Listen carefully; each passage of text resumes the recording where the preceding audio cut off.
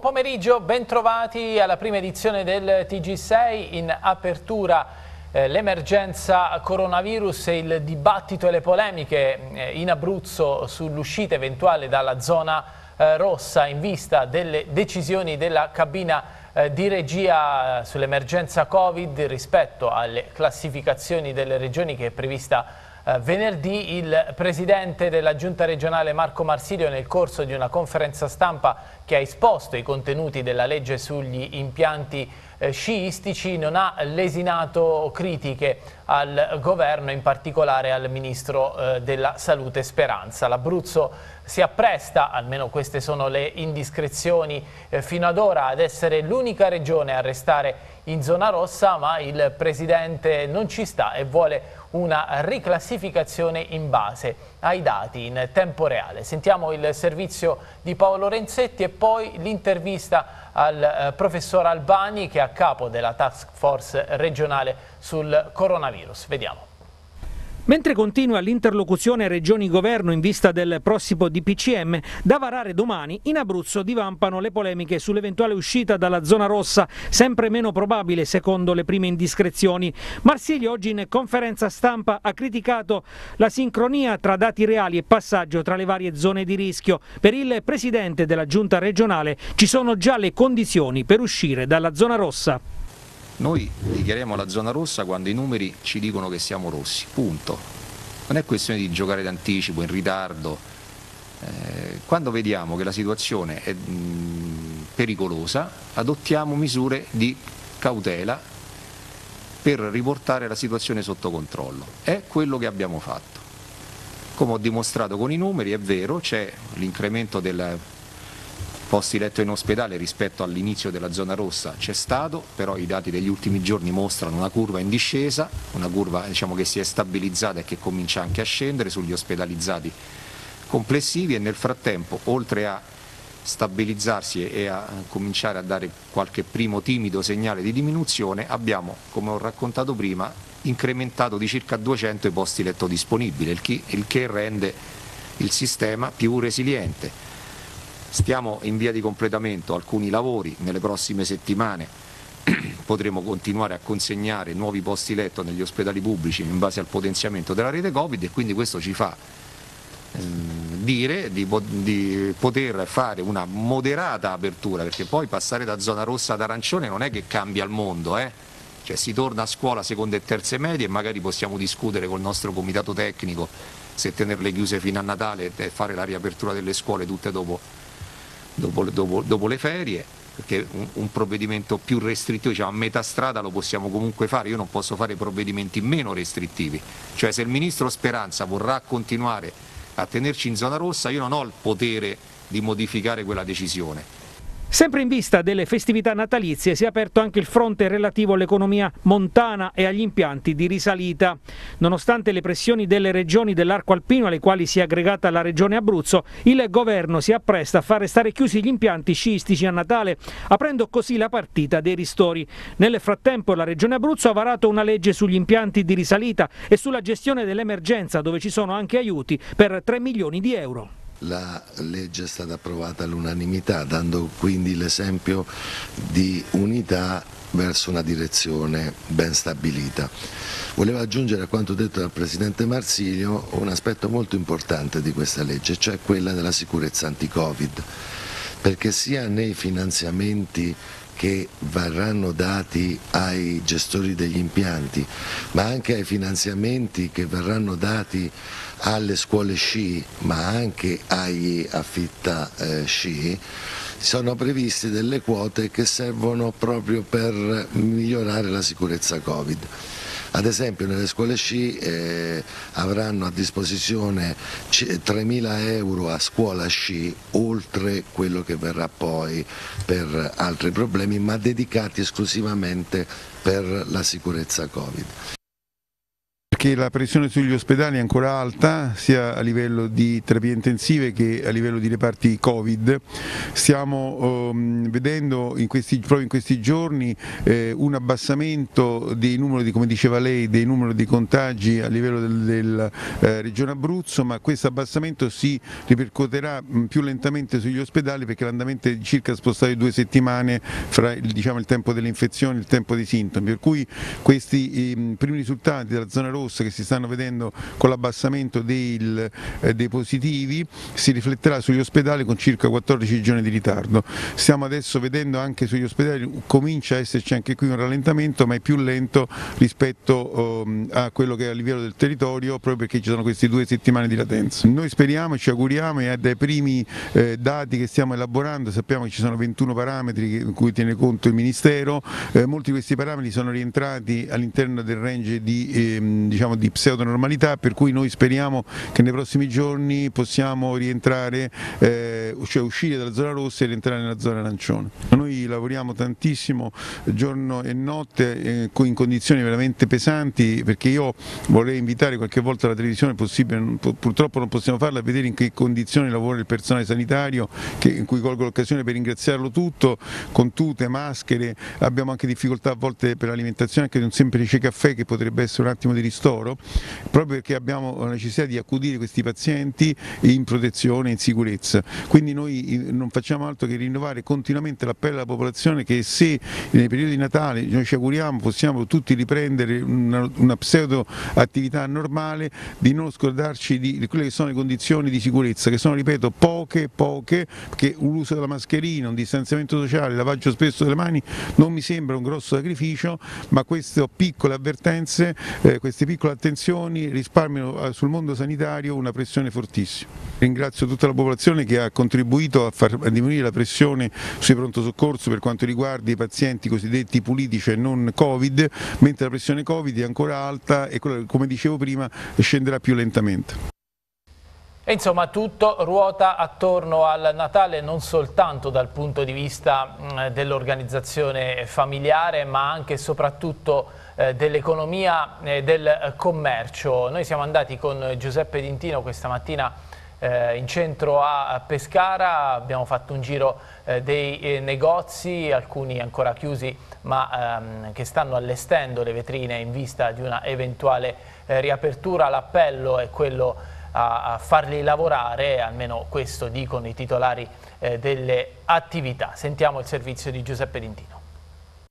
Se chiudono i negozi, che cosa rimane di questa città? Siamo a Pescara Centro, mancano poco più di 20 giorni a Natale, sono già state posizionate le luminarie, alle mie spalle vedete l'albero del comune quasi completamente allestito e anche nelle vetrine dei negozi compaiono i primi addobbi. I commercianti si stanno preparando alla riapertura. Ci stiamo preparando sperando di riaprire il prima possibile, stiamo riallestendo tutto il negozio con gli addobbi natalizi, nuovi arrivi eccetera per prepararci ai regali di Natale. Siamo chiusi insomma da quasi un mese ormai, per cui veniamo qui la mattina, facciamo foto, storie, insomma cerchiamo almeno di vendere online che fortunatamente riusciamo insomma, a fare qualcosina ma non è mai il negozio aperto ovviamente, anche perché abbiamo tutto questo negozio così grande e così bello che è un peccato. Ci auguriamo che, che riaprano, ovviamente noi adotteremo tutte le misure necessarie per evitare il sovraffollamento, però ci aspettiamo che, di diventare almeno zona arancione. Le prossime ore saranno decisive per determinare quando si potrà riaprire. I dati della seconda ondata in Abruzzo arrivano oggi sul tavolo del Comitato Tecnico Scientifico e su quello della cabina di regia ministeriale. Domani il colloquio tra il Presidente Marsilio e il Ministro Speranza. La Regione aveva anticipato il governo di due giorni per quanto riguarda l'istituzione della zona rossa in Abruzzo, adesso vorrebbe tornare zona arancione a partire dal 4 di dicembre. Occorrerà però attendere il via libera del Ministro della Salute Speranza che potrebbe far tornare l'Abruzzo in zona arancione a partire dal 10 di dicembre. Se fosse il 10 sarebbe troppo tardi? Sarebbe troppo tardi sicuramente perché comunque il perdere il ponte dell'8 di dicembre sarebbe un danno enorme come per, uh, per, tutti i negozi. Sarebbe tardi perché saltiamo anche l'Immacolata, che l'Immacolata solitamente c'è chi compra, inizia a comprare regalini per Natale, chi insomma si inizia a fare un giretto nei negozi, ha voglia di comprarsi quel vestito nuovo, quella gonna nuova. Poi oh, l'importante è che ci fanno aprire, noi speriamo nel 4, se poi dovesse essere il 10 pazienza. Ma io penso che tanto appena riapriremo le persone avranno voglia di uscire, di comprare, di andare nei negozi a fare i pensieri. E mentre si decide del futuro dell'economia abruzzese, i commercianti, come abbiamo visto, si sono reinventati con lo shopping online principalmente, anche perché intanto alle spese di gestione, zona rossa o non zona rossa, bisogna comunque far fronte. L'assurdo è che comunque noi abbiamo un negozio anche di fronte eh, dell'adulto e praticamente siamo chiusi. Siamo chiusi e questo comporta un danno pazzesco. Abbiamo tre persone in cassa integrazione e poi a oggi praticamente noi ancora non sappiamo quando riaprire e, eh, ed è assurdo tutto questo, il Natale è arrivato e per noi mh, mm, è un danno mh, mm, troppo troppo grande che non riusciremo mai a recuperare. Un'azienda che ha una spesa eh, mensile di eh, milioni perché comunque eh, gli affitti si devono pagare, il, il, personale bisogna pagarlo, quindi contributi, stipendi, eh, tutto quanto, la merce, la merce che tu hai acquistato ed è invenduta e che ti rimane dentro il negozio, cioè questo chi lo paga? Lo Stato non ci ha dato nulla Neanche uno degli aiuti promessi è arrivato? Nulla, assolutamente nulla a oggi. Noi personalmente non abbiamo visto niente. Andiamo avanti voltando pagina e parlando dei test sierologici nelle farmacie sono disponibili eh, da ieri anche se eh, alcune farmacie si stanno ancora attrezzando per effettuarli. La campagna voluta eh, da Regione Abruzzo Federfarma e Assofarma dovrebbe servire anche a garantire un quadro più completo rispetto all'andamento del eh, virus nella nostra regione. Sentiamo Stefano Recanati. Al via la campagna che prevede l'esecuzione di test sierologici nelle farmacie abruzzesi. L'iniziativa è frutto di un accordo sottoscritto tra Regione, Federfarma e Assofarm. Il test in questione, che verrà eseguito su base volontaria, è quello sierologico con ricerca anticorpi IgM, quelli che compaiono nella fase iniziale, a pochi giorni dall'esordio dei sintomi e tendono poi a sparire abbastanza rapidamente, e anticorpi IgC, che compaiono un po' più tardi rispetto all'IgM, ma durano molto più a lungo.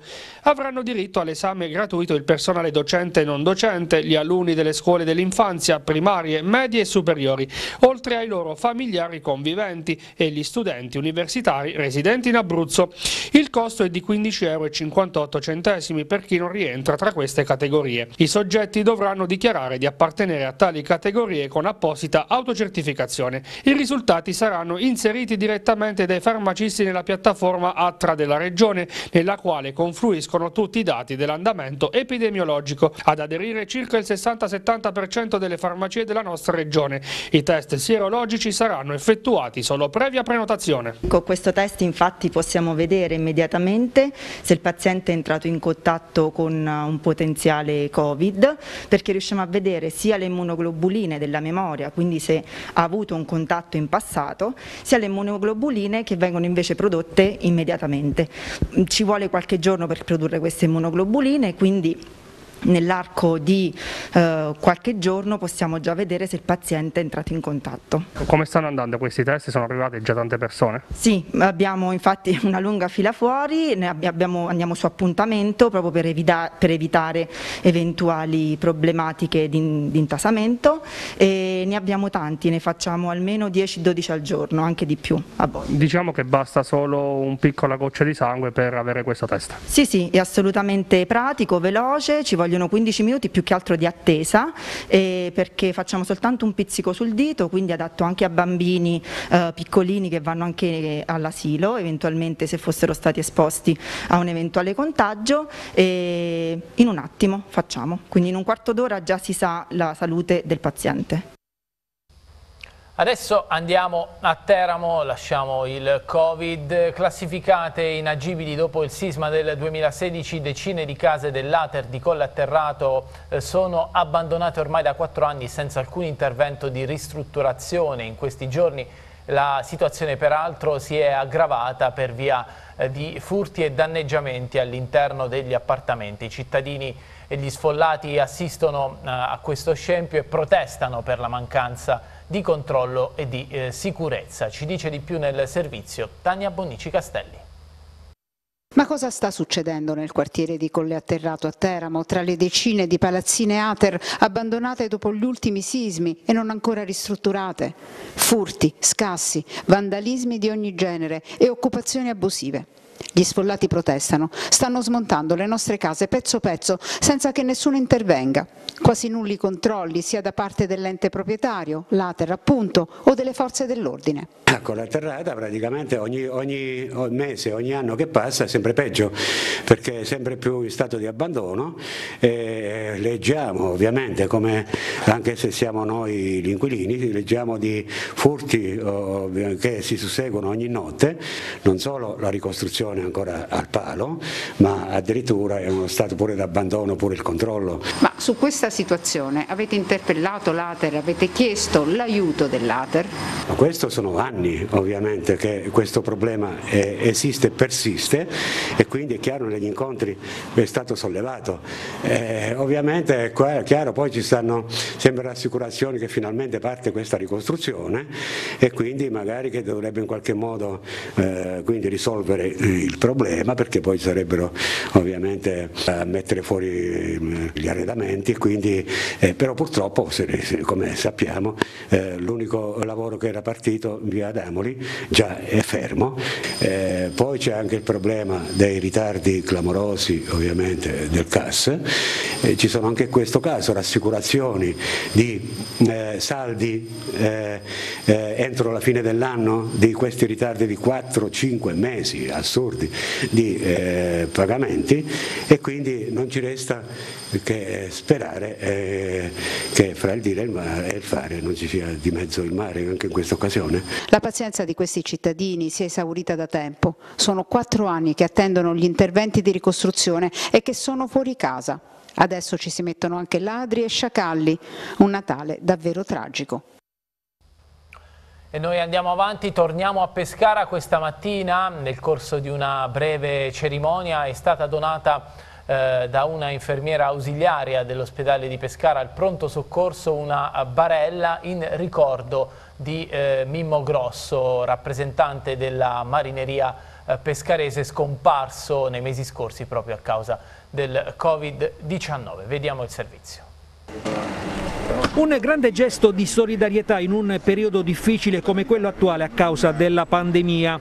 Questa mattina infatti presso il piazzale esterno del pronto soccorso dell'ospedale civile di Pescara il dottor Alberto Albani, direttore del Dipartimento di Urgenza ed Emergenza della ASL di Pescara, ha ricevuto la donazione di una barella elettrica da parte di Laura Tiberi, infermiera ausiliaria presso lo stesso pronto soccorso del Santo Spirito. La donazione è stata fatta in ricordo del fraterno amico Mimmo Grosso, per tanti anni rappresentante e portavoce della marineria pescarese, recentemente scomparso, lasciando un grande vuoto in tutte le persone che lo hanno conosciuto. Alla donazione ha presenziato anche la moglie di Grosso, Marina Di Vincenzo, alla quale il pronto soccorso di Pescara ha donato una targa ricordo. Anche grazie a questo generoso gesto, il ricordo del signor Mimmo Grosso resterà vivo nel cuore di tutti coloro che l'hanno conosciuto e gli utenti del pronto soccorso, ha detto il dottor Albani, si gioveranno così dell'utilissima barella elettrica.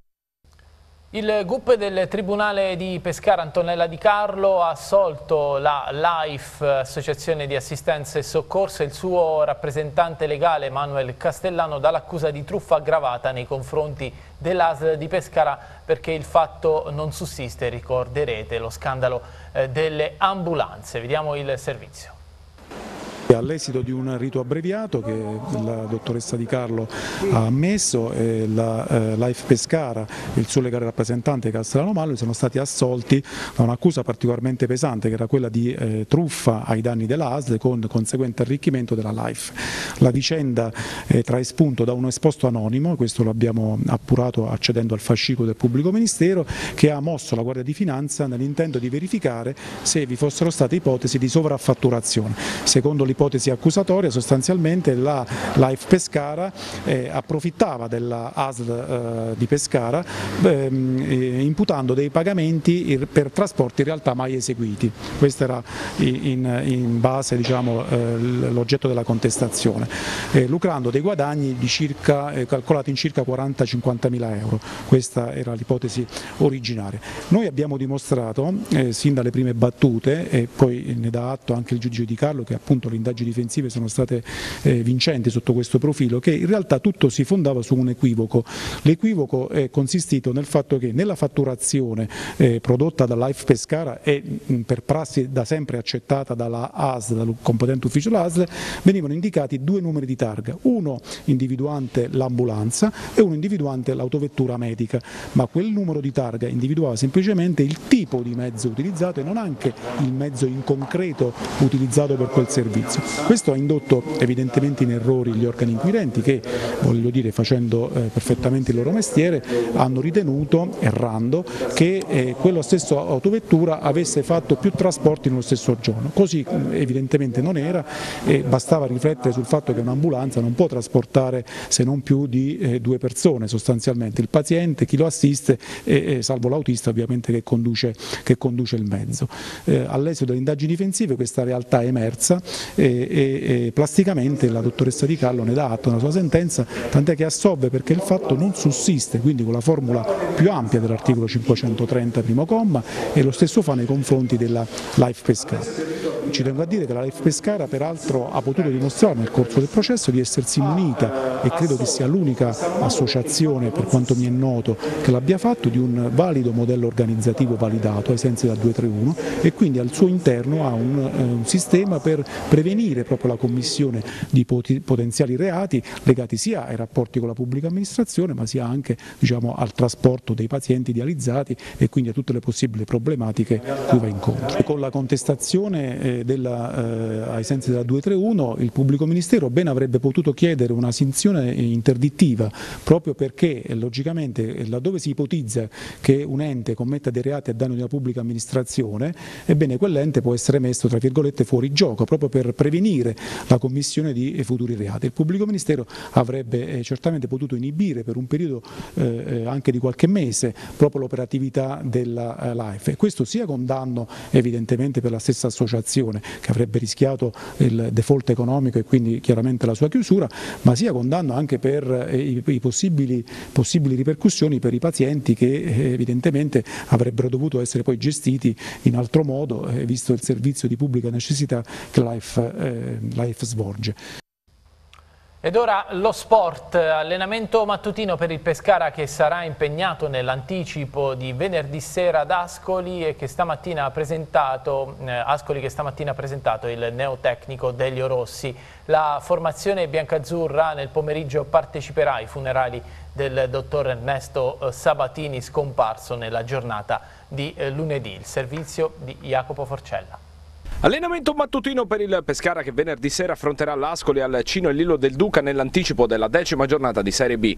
Esercitazioni offensive per la formazione del neotecnico Roberto Breda che sta lavorando al 3-5-2 da presentare nelle Marche con Setter che rientra dopo lo stop che non gli ha consentito di essere in campo nelle sfide contro Spalle e Pordenone entrambe perse dal Delfino.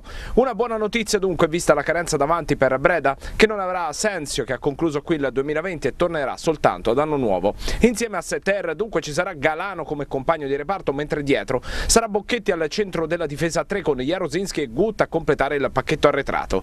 Probabile dunque la panchina per Scognamiglio, così come per Bellanova a destra come quinto, perché in quella posizione agirà Balzano. Sulla corsia opposta va ancora scelto l'interprete e sarà uno tra Zità e Crecco, visto che Masciangelo è fuori causa per via della distorsione alla caviglia con interessamento dei legamenti che lo terrà lontano dai campi almeno per altre tre settimane.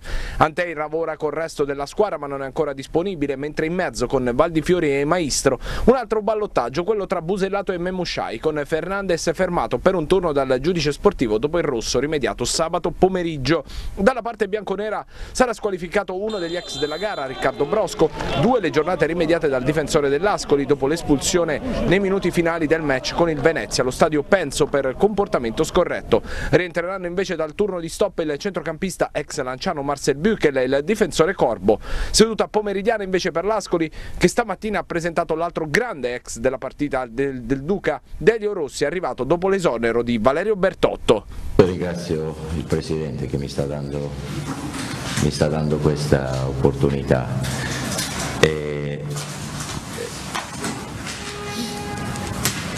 E stavo a casa, il Presidente mi ha chiamato, siccome a me piace fare sto mestiere, quindi penso che abbiamo trovato l'accordo in, in, in 5 minuti. Per di più vengo in una piazza, forse una delle più antiche d'Italia, mi sembra una società, una società che in un certo qual senso è anche ambiziosa, anche se adesso è un momento un po', un po particolare, però per crescere ci sono anche questi momenti. Spero di essere all'altezza di, di tante aspettative da parte mia, ce la metterò tutta, solo che io penso che le persone non devono essere giudicate in base a quello che uno dice, ma da quello che fanno. E quindi spero che parlino i fatti più che le parole. Nei momenti di difficoltà, secondo me, più che i professionisti si vedono gli uomini perché se le cose vanno bene sono capaci tutti, ma gli uomini si vedono quando le cose non vanno bene. Molto probabilmente bisogna fare leggermente magari qualcosa di diverso, perché io sono abituato sempre a fare A e A non va bene, significa che devo fare una modificata, poi arrivare magari a B, però gradatamente. Ecco, in questo momento ho avuto grande disponibilità da parte della squadra, dei, dei, ragazzi, sotto questo punto di vista almeno in questi tre giorni sono incommiabili. In questo momento hanno secondo me e abbiamo bisogno di tutti. Lega Pro, intervenuto ieri sera nel corso della trasmissione Proteramo, il presidente di Lega Francesco Ghirelli ha affrontato il tema delle scadenze di dicembre delle società, ha parlato del credito d'imposta e della possibilità di una riforma complessiva del calcio italiano, bocciando l'idea della Serie B di passare a 21 squadre nel 2021-2022. Vediamo. Mi sembra che complessivamente tiene la Lega Pro nelle ultime giornate è andata migliorando anche la situazione dal punto di vista di Covid-19. Domenica è stata la prima domenica dopo alcune, eh, alcune settimane, le ultime, che era in fase di miglioramento, si vedeva dai dati. Eh, domenica non c'è stata nessuna partita rinviata, auguriamoci che possa andare avanti. Avremmo bisogno di un intervento di sostegno da parte del governo e del Parlamento. Come ha già dichiarato il presidente dell'Associazione Italiana Calciatori, lo stesso dato risulta a me, già la stragrande maggioranza della Serie C nel corso di queste settimane, di questi mesi ha già pagato, quindi rispettando questa scadenza, quindi ritengo che non ci dovrebbero essere particolari problemi, mi preoccupano alcune società, ma questo dipende non solo dalla scadenza, ma dalla situazione generale. Noi non abbiamo avuto problemi dal punto di vista dei recuperi, eh, perché abbiamo programmato tutti i recuperi, certo determinano una pesantezza dal punto di vista del calendario, però questo è recuperato. Il nostro problema era vedere come sarebbe andata la curva epidemiologica del paese e verificare che cosa ne poteva succedere, cosa poteva succedere all'interno delle squadre di calcio. Questa era la preoccupazione. Se ci fosse stato eh, o se ci dovesse essere, perché fin quando non usciremo questo elemento comunque rimane in piedi, una situazione dal punto di vista epidemiologico seria, allora bisognerebbe pensare. Il progetto di riforma deve essere del sistema calcio italiano. Sino ad ora si è parlato di ipotesi le quali non hanno una grandissima credità. L'ultima è stata questa vicenda che non credo approderà nemmeno in Consiglio federale da parte della Serie B su 21 squadre, eccetera. bisogna che ragioniamo a sistema. Il calcio italiano ha bisogno rapidamente di andare a una riforma e prima di tutto noi, non partendo dai numeri perché mai dalla mia esperienza che è dal 93 che sono nel calcio, mai si è fatta una riforma partendo dai numeri. L'unica autoriforma che si è compiuta l'abbiamo fatta noi.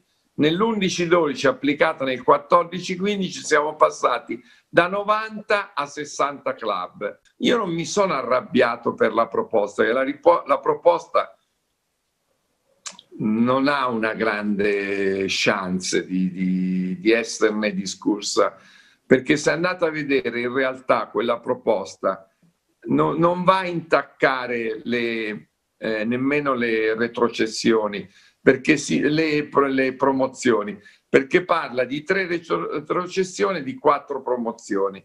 Vuol dire che quest'anno è 21, il prossimo anno è 22, quell'altro dopo è 23, poi 24, 25. Perché mi sono arrabbiato? Per il ragionamento che ho fatto prima. O si ragiona insieme o, e non è materia di, in cui ognuno guarda dal buco della serratura il suo problema, eh, oppure per motivi elettorali, per, eh, e si comincia a ragionare veramente a sistema nel calcio italiano o se no ogni processo di riforma non va avanti. Il mondo dei dilettanti aggiorna il protocollo anti-Covid introducendo i test antigenici rapidi a ridosso degli allenamenti e delle gare di campionato. Il soggetto positivo andrà isolato e non sarà disponibile mentre il gruppo potrà continuare ad allenarsi. Il servizio. La LND aggiorna il protocollo per il mondo dei dilettanti. Da ieri sera infatti è ufficiale che anche in Serie D ci sarà l'introduzione dei test antigenici e quanto previsto già per il mondo professionistico. La Commissione Medico-Scientifica Federale ha ritenuto ragionevole e affidabile infatti utilizzare per la ricerca del virus SARS-CoV-2 in alternativa ai test molecolari anche i test antigenici quantitativi, prevedendo l'inserimento obbligatorio di un test settimanale entro le 48-72 ore antecedenti la disputa della gara per tutto il gruppo squadra individuato dalle società.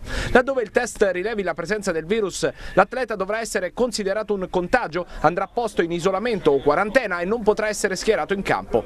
In caso la positività derivi da un test antigenico rapido, sia il soggetto positivo conclamato che quello debolmente positivo dovrà essere considerato a tutti gli effetti un contagio ed essere sottoposto ad un test molecolare di conferma. Qualora la società ritenga di porre in atto ulteriori misure di controllo clinico e strumentale, potrà attivare in autonomia ogni iniziativa ritenuta utile. Raccomandato è l'utilizzo almeno iniziale di test sierologici per la ricerca degli anticorpi anti-SARS-CoV-2. Tutti i componenti del gruppo squadra dovranno comunque compilare almeno settimanalmente e ogni qualvolta si verifichi un mutamento dello stato di salute individuale o se ne presenti la necessità l'autocertificazione sul loro stato di salute e su eventuali contatti con soggetti Covid positivi intervenuti nei giorni precedenti l'allenamento, la gara o comunque l'ingresso presso il campo di gioco di allenamento trattamento da far pervenire al medico sociale o al medico addetto al protocollo.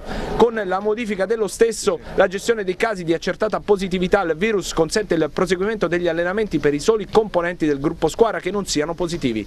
In ogni caso è obbligo del medico sociale o del medico addetto al protocollo in caso di positività al test molecolare o antigenico rapido darne immediata comunicazione alla ASL competente per territorio e al medico di medicina generale. Le persone che pur non presentando più sintomi continuano a risultare positive al test molecolare, in caso di assenza di sintomatologia da almeno una settimana potranno interrompere l'isolamento dopo 21 giorni dalla comparsa dei sintomi.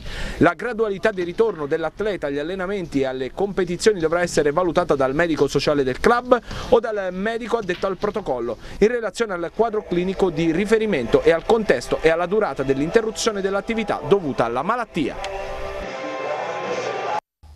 Il TG6 termina qui, grazie per essere stati con noi, prossimo appuntamento alle ore 19. Buona giornata.